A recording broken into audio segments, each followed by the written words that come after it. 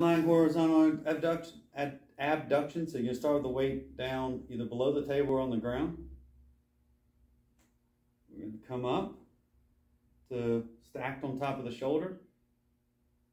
Slow on the way down. So count of five on the way down.